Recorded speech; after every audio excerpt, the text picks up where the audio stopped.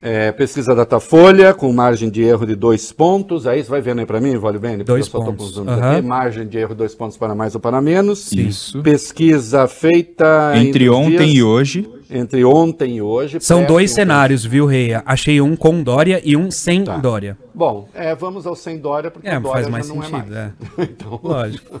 Né, podemos até dar informação, claro. mas agora o cenário que vale é o cenário sem Dória e tem até alguns nomes aqui que eu, eu, confesso que eu nem sei quem são, mas de qualquer modo estão aqui. Também tem a Simone Tebet, né? Entre ontem e hoje, portanto, a Simone Tebet já consagrada candidata, Isso. né? E com já um monte de manifesto de empresários uhum. e etc.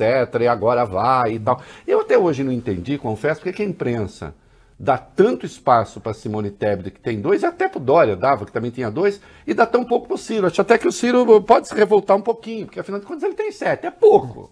É pouco, mas tem um pouco mais também. Bem mais. Né? É verdade que as pessoas têm um pouco de medo da notícia sobre ele, que ele liga lá e diga, não é isso, mas de qualquer forma. Love, Ciro, brincadeirinha. É...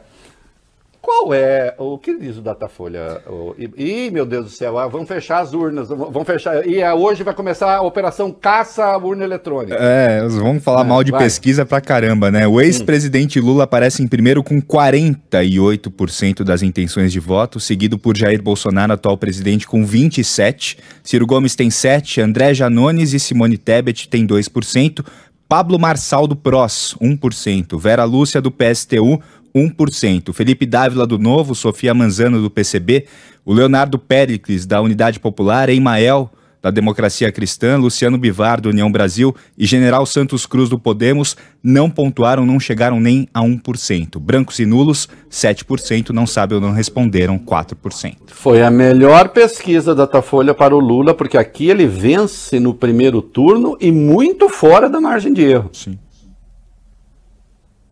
muito fora da margem de erro. Né? É, veja aí a pesquisa anterior, embora os cenários não sejam comparáveis, mas pegue para mim, Vale Bem, vê se acha aí o Achamos. cenário anterior mais provável, quanto é que o Bolsonaro estava. Me parece que no cenário mais provável ele pontua menos agora. Né? Embora, insista, não seja comparável. 27 de Bolsonaro com 7 de Ciro Gomes, 34. Com 2 de Janones, 36. Com 2 de Simone Tebet, 38. Com 1 de Pablo Marçal, muito prazer, 39. E com 1 de Vera Lúcia, muito prazer, 40. Contra 48 de Lula. 43 a 26 na pesquisa anterior. 43 a 26 na pesquisa anterior, então Isso. então o Lula, o Bolsonaro está na margem de erro, o Lula é, veja, não é comparável, porque não são exatamente iguais, mas são cenários prováveis. É o cenário em que o Lula vence com maior folga no primeiro turno da Datafolha, porque nos outros Datafolhas, o Lula poderia vencer na, na, na, no primeiro turno na margem de erro. Aliás, o jornal nem dava destaque para isso, embora estivesse ali. Embora estivesse ali. Ah, podia vencer na margem de erro, mas não dava destaque. Agora nem tem como não dar, não sei se a Folha vai dar destaque ou não para isso. É, mas ele vence no primeiro turno. Hum?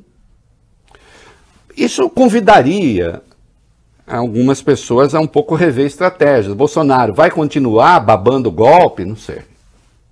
Ciro Gomes vai continuar a fazer o seu neném, porque o neném dos outros é um neném mais calmo, o neném do Ciro é um neném meio virulento. Eu não sei se isso é, é tá altura da trajetória do Ciro Gomes. Mas isso também é com ele. Ele que faça a sua escolha. Né? É, então, tem simulação de segundo turno? Por... Se, houvesse, se, se houver segundo turno? Por enquanto, só Lula contra Bolsonaro. Lula com 58%. Na pesquisa anterior tinha 55%. Bolsonaro aparece agora com 33%. Tinha 34% na pesquisa anterior. Portanto, o Lula aumentou a vantagem. Vocês vejam que quanto mais Bolsonaro exacerba a linguagem golpista, né, mais longe é, ele fica da eleição. Mas se ele quiser, ele que continue. Ah, não, não quero ganhar a eleição, quero dar golpe. Ah, bom, aí é outra coisa. Aliás, minha coluna na Folha eu trato disso amanhã. Né? Porque tem assim, ah, será que o golpe pode acontecer no primeiro, no segundo turno, se for a quartelada, não sei o quê? Não, é, o golpe se acontecer caso ele vença. Aí eu, vocês vejam lá qual é a tese. Aí sim, aí o risco existe, aí o risco é real. Né?